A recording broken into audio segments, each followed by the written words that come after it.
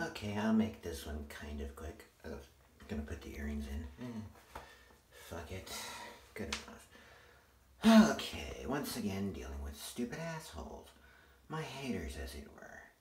So, the first comment was okay. They talked about that when I'm shooting VR things, I should probably have the camera further away. Oh, oh, close-up spotted. Okay. Is that better? Are you happy now? Fuck four brains. Now, if that were it, I would just say, okay, and fix it. But then he says he gets professional helpline, which is every translation for every transphobic piece of shit to say when their butt hurts. I'm sorry you have a little penis, dude. I'm sorry no one wants to fuck you. And I'm sorry that you're a dumbass. But I need professional. One, no, I'm trans. I'm living my life. Deal with it. Second, you chose to find my page with a picture of my face. At the top of all my videos is me, standing there in a dress. It's not even a more recent where I've lost a little bit. It's like an older one. I even have a shitty wig on. It's not like where I grew my hair out like I have now. Oh, actually, no, it, yeah, now it has my hair out. I'm sorry, I switched pictures. Never mind. Anyway, it's still, it's me, sitting right there. Dressed, full makeup, whole nine yards. My name. So you chose to find my video, and you're one of those who chose to follow me as well. I mean, thanks for the follow, even though you left after you made your little comment, so I guess that was part of it. You wasted all this time, watched the video, and then made your little stupid ass comment? That was not original and not creative. I think you're the one who needs professional help. Because that's mental. If you have a problem with someone, get over it. You know, you don't have to watch the video. No one's forcing you to. I mean, hell, I appreciate the views. Thanks, asshole. I appreciated the follow till you left. I heard you can still be a dickhead and follow. I prefer nice people, but whatever. And the little comment, fine too. That also counts to my page. Thanks, dickhead. okay, you are not a scientist. You are not a mental professional. And I don't need professional help. You need professional help. Because you are obviously very stupid. I am sorry that you come from a long line of inbred fuckers. It is not my fault that your family deemed it necessary to fuck brother and sister over and over again for generation for your dumb monkey ass to come out. Okay? If you're gonna make a stupid ass comment, make it more interesting than just, I get my money line, I'm so smart.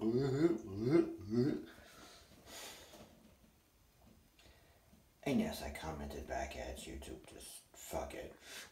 Why not? I might as well let you know you're a dumb shit. Instead of just making this video, because some of you aren't smart enough to know to look back. again, I realize you don't like close-ups. The frame is too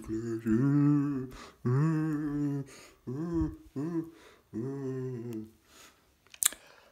Fuck you, fuck face. There. Is that far enough away from what I am shooting for you? Oh, wait, hold on, hold on, hold on, hold on. There we go. But no, no, no. That actually, if that was a comment, I would have just fixed it. I'm making fun of you now because you made the other stupid line. If anyone wants to tell me that I need to work on this, fine, fine, fine. That's constructive. That's useful. The stupid ass, inbred, redneck fucking comment.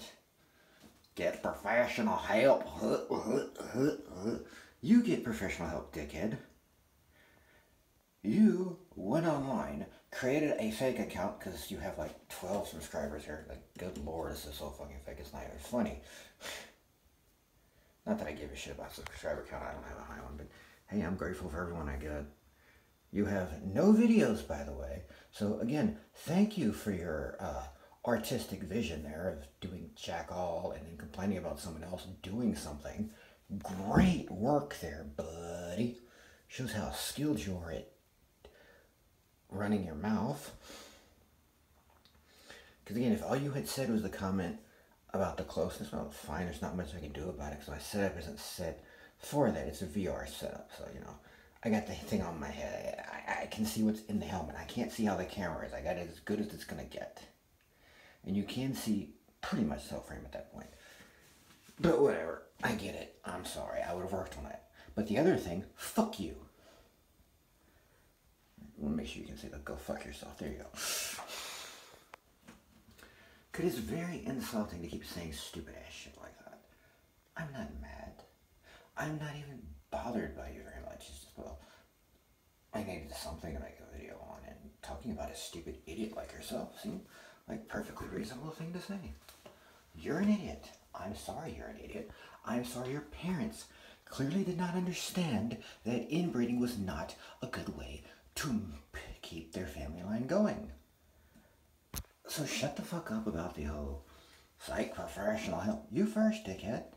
Cause I didn't say anything crazy. Oh, oh, cause I'm trans. Oh, that's it. Yeah. Fuck you. You say, well, science says no, no, no, no, hun. I hate to break it to you. Science hasn't made up its mind totally. They're still discussing it. Actual scientists are discussing it.